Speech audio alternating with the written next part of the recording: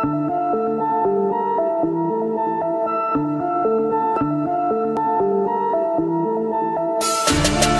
grinding my whole life. Know I'm talking about, I've been grinding my whole life. know I'm talking about. I've been checking in for a check.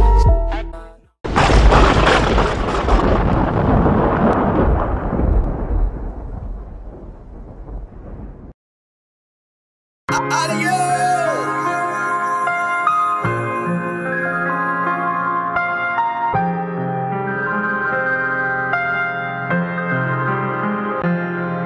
Yeah, they flood the streets with guns, they flood our eyes with tears. Little homie 16, they got him facing. What's up, world? This is hiphopsuccess.tv. Coach Tony Brace. I'm really excited today. It's all about that mind rich mentality. It's all about that determination, that skill, and putting yourself in great environments. I got my guest here, the one and only professional boxer, Dangerous Don Moore, fighting How's out of? Indiana. What's good, my brother? Man, how's it That's going? Gary, Indiana, to be exact. Yeah. It's going it's going well, man. We talked Yeah. about getting together for a while, brother, Yeah. and uh, really making this happen. So appreciate you coming on our show and really shedding some light with our audience about No the problem. mindset of what it takes to be a champion, of, Yeah. what it takes to be a professional. So, first problem. question, my brother, is tell me a little bit about your story. How did you end up from Gary, Indiana, to the West Coast? To be specific, we're in Las Vegas, Nevada, shooting this piece. Okay. Well, I was an um, amateur star out in the Midwest, and you know, um, Floyd and um, Floyd and his crew got at me. Um, they reached out to me on behalf of me coming out to his sparring. That's Money Mayweather, by the way. Yeah, and it was like, come out to your camp, and I didn't really take them serious. So um, they called me back, and I told them to send that um, confirmation, that flight confirmation. So they did, and they welcomed me. And when I first came out here, man, it's been a blessing that they even acknowledged me from just a small town like Gary, Indiana. You know, like Roger Mayweather always say, the best come from the Midwest. And you know, with my hard work and determination, I went in and did what I had to do. And um, when I went back home, to Gary, Indiana. I was there for like two months, and Floyd called me back like, "Hey, you know, let's get it popping." You know what I'm saying? Like, what you like the how you like the West Coast? And I changed my whole life. I changed my whole life and my you know, you know my um, surroundings, and I moved to um, Las Vegas, Nevada, and they welcomed me, man. I appreciate it. That's what's up, man. So Mhm. 17 and 0.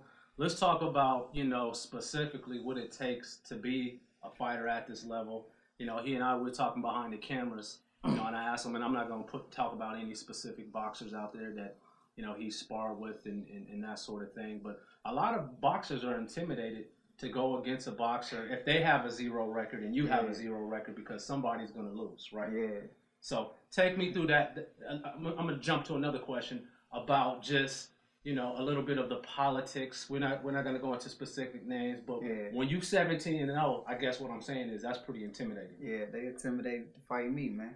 I'm dangerous Don Moore. you know what I'm saying? Um, you know, I come from the Midwest and I don't know how to lose. So I've been winning. I've been winning um, since I was a young, you know, so if you got your best, put them up, you know, and I'm to show them, you know, just what the Midwest, just what it takes. And, you know, it's a lot of kids and a lot of people looking up to me. So, you know, I do this and I keep God first and I just, you know, I fight hard and I dedicate myself. You know, I learned a lot from everybody that I spar. You know, even if it's a guy that really don't have a good record or he's not as talented as me, you know, I still can learn. I work on movement, defense, and offense. You know what I mean? So, like I said, man, I do this. You know, I'm undefeated. That's what's up. I'm humble about it, but I'm cocky too. You know what I mean? I beat you up. up. You know what was interesting? I found out behind the cameras. This this man just before he even turned pro, just on the amateur side, has over hundred fights. Yeah. So you know, you want to talk about hard work, determination. yeah, talk about the beginning, man. Um, Yeah, when you when you was a youngster, how'd you get into the whole fighting arena, if you will? my brother named Warren Moore, um, my other god brother named Marcus Johnson, um, they really introduced me to boxing, just boxing, period. And they, I was young, 12, and they tried to take me to the gym, and it was hot in there, and I'm like, man, I ain't trying to feel no gym. Yeah. I don't want to train, I don't want to work out. And, you know, they called me all, man, you soft, you this and that. So they kind of pressured me to come. So to show them that I wasn't no chump when I was younger, and I used to fight in a you know in in a hood in certain areas. You know, I'm gonna keep it all the way real today. And um, I went to the gym and sparred this guy. He was kind of a pretty boy guy with like green eyes and straight hair. You know what I'm saying? I'm looking like this dude ain't gonna beat me. Man, he got in there and whooped me up. and then um, the coaches was like, "You got something. Um, just if you come back and dedicate yourself and just listen to us, you got something." And within the next week, I sparred the same guy again and beat him bad. And the coaches was like, "Man, I told you, you know, you, you know." He told my brother, "We just got to keep him out of trouble." You know what I mean? And you really got something. And um, my first fight, it was within three weeks um, after I first like started training as an amateur. Within three weeks, I fought in the Junior Olympic tournament, and I won the whole tournament. We took 14 guys down there, and like four or five won, and I was one of four or five, and that showed from there, you know, the blessings that was upon me, that was around me, you know, like all you got to do is dedicate yourself, and if it's for you, you know, don't let nobody else tell you that you can't or you won't or that you ain't. You know, you show the world your greatness.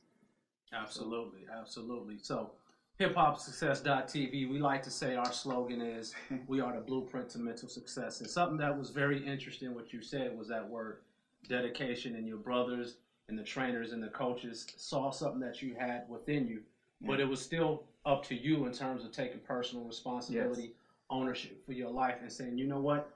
I'm gonna dedicate myself. So Yeah. what I want to know, what I want to get to, or get across, I should say, to the audience in terms of this mind rich game that we're giving you, because this is a big Yeah. game, is what did you have to give up in Yeah. terms of the streets to to chase your craft, to chase your vision? It's a sacrifice, you know.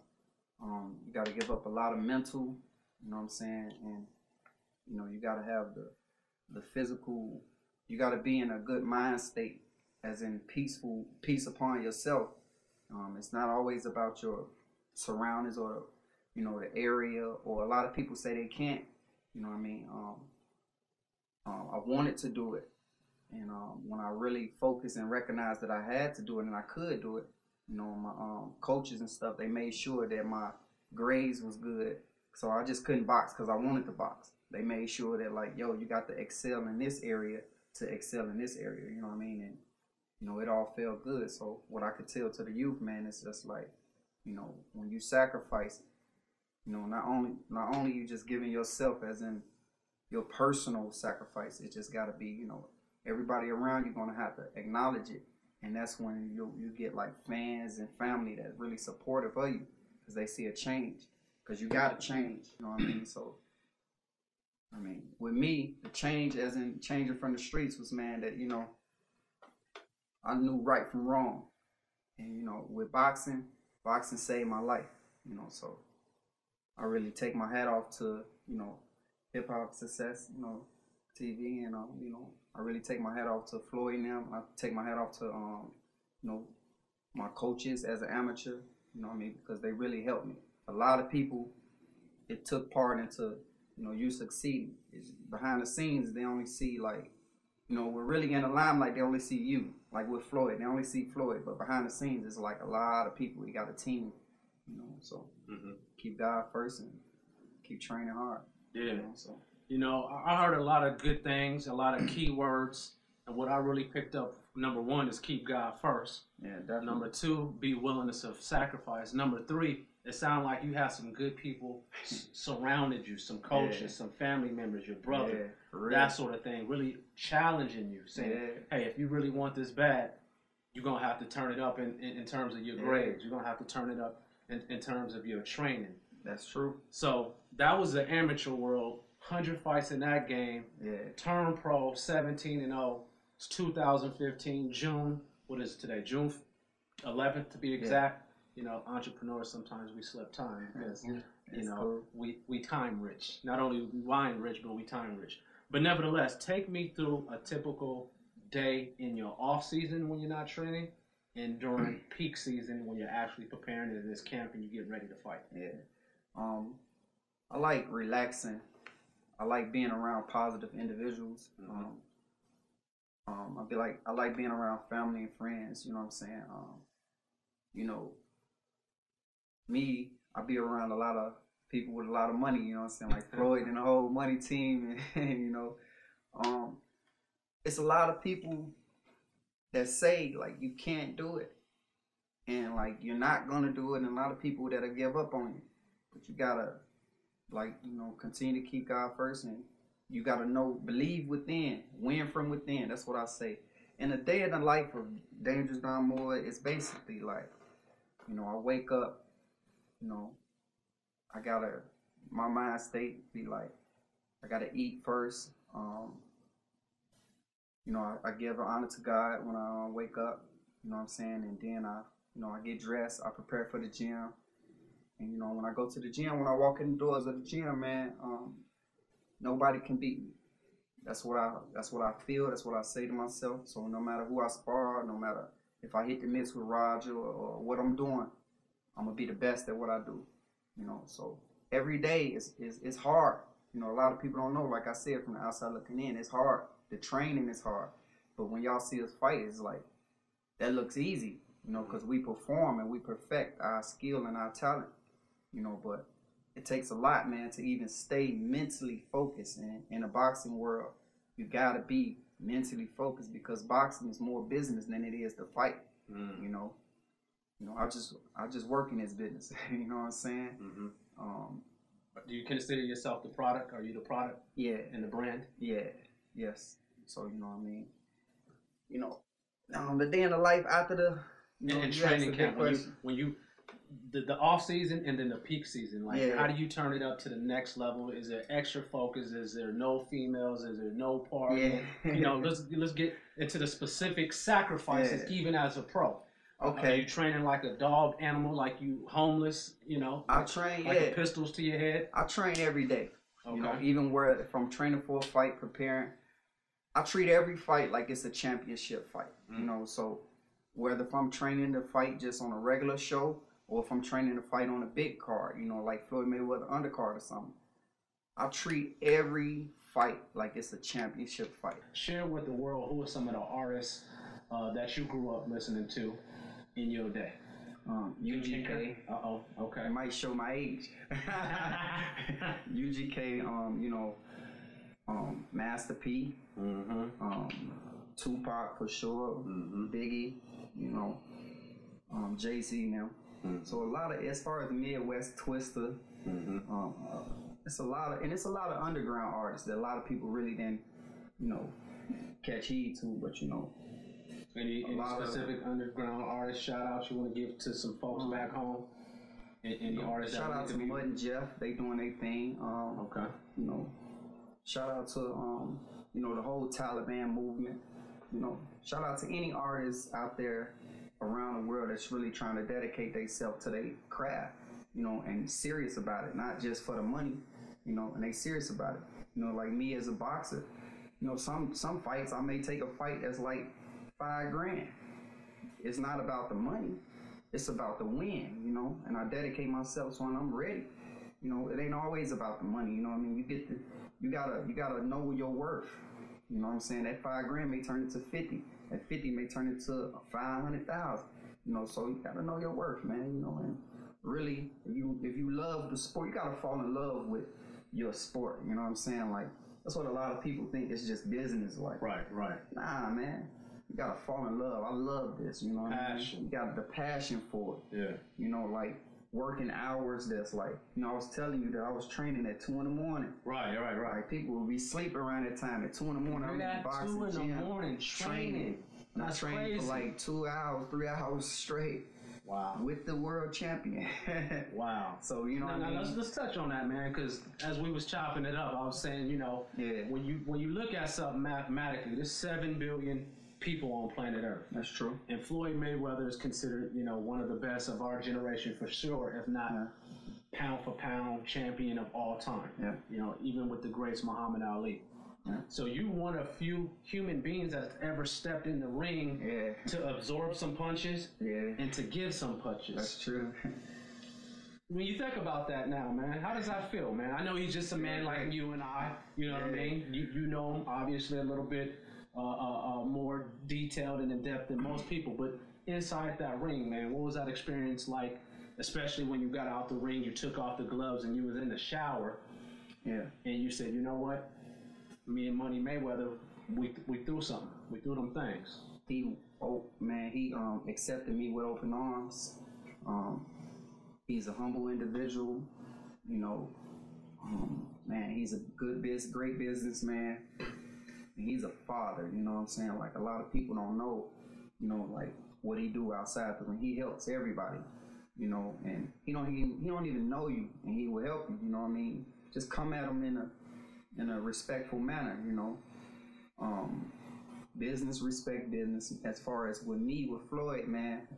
In that ring, yeah we was doing our thing you know? I learned a lot from floyd you know as far as offense defense and man he quick fast he hit hard you know i try to catch him with a lot he tried to catch me with a lot i mean it was an experience I have to think once once you guys are filling each other out, yeah being Floyd Mayweather's out the window, It was- right? yeah. I mean, naturally, is Yeah. I know for me, I'm, once I'm getting down, I'm getting down. I'm not was thinking about who, who, who it is, right? Yeah, it was tense, man. Um, but to be in there with him, man, is like a basketball player holding a basketball and actually standing in front of Michael Jordan, one of the greatest, playing with him, having a chance, the opportunity to shoot hoops with him, play ball with Mike, man. Floyd is the greatest of of all time right now. You know what I'm saying? As far as man, business outside the ring, man, he does. He man, I'll take my hat off to him. And a lot of respect to the money team and what he doing and the lifestyle, how he living. You know, a lot of people see the cars and a lot of people see him spending money and all that. But man, if you check out All Access and you know really look into the lifestyle, I mean, that's been a blessing, you know, because when he wasn't, and when he didn't have that, when nobody talking, you know what I mean? So, you know, you got to take your hat off to what the man accomplished, you know what I mean? And he's, he doing his thing. he beat Pacquiao, so now what else somebody else got to say, you know? No doubt about it, man. You know, it's fantastic hearing these stories, man. And you know, as you know, and a lot of people in the world know, I take this greatness thing Yeah. seriously. You know, I coach people to get results, whether it's athletes, business owners, entrepreneurs, and me just being connected to somebody that's 17 and 0, Yeah. connected to somebody now that is 49 and 0. Man, that's, You know what I mean? This is what hiphopsuccess.tv is all about. It's all about introducing you to greatness. So next question that I have, man, is currently right now, when is your next fighter? Who who are you targeting?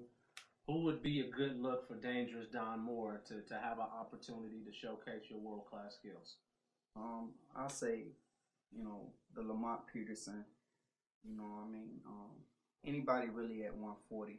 You know, so you know what I'm saying. It's like put your O against my O. Somebody O got to go. You know what I'm saying? Like Somebody's always got to up, go. You know, That's get one your people with yeah. my people. You know, I'm 17 and old now. Um, I fight July 24th coming up. Um, out here in Las Vegas. It's my first fight in Vegas. I fight main event A rounder. Man, I'm so happy about it. I'm so just like Yeah. excited because you know, like a lot of doors been shut, but a lot of doors been open. No doubt. You know what I mean? So it's like, as in the boxing business, is that's great Right. you know, Right. and they're gonna respect, you know, my hard work and dedication and where I come from. You know what I mean? And it's like, you know, um, I learned a lot, and I've been in there with a lot. A lot of people really don't know me, and a lot of people really do know me because behind the scenes, um, I haven't fought in Vegas yet. You know, I fought in the Midwest, but now this is my time and my opportunity. You know, I'm carrying the torch. So July 24th, out here at Sam's Town, you know, the contracts is, um, you know, getting taken care of, and whatever opponent. No doubt about it. I want to say thank you so much, Dangerous Yeah, Don it. Moore. Please let all the people know where they can catch you at on social media, Instagram, Twitter, Facebook, all that sort of stuff. You can um, follow me. I'm Don the Champ on Instagram, Facebook, you know, Twitter, Dangerous Don Moore. Um, I got my own website, you know, dangerousdonmoore.com. I mean, you can follow me, check me out, you know. You can leave comments, I'll comment back, you know, so. Man, it's been a blessing, you know what I'm saying, just to be a part of, you know, hip hop No success no TV. doubt. So, you know, you see we rocking, we stay fresh, you know. the best must impress, you know what I mean? That's right. So, man, I appreciate it. Man, I appreciate the love, my brother. So, sure. Coach Tony Brace, Hip Hop Success.tv, Don Dangerous Moore. Stay tuned. We out.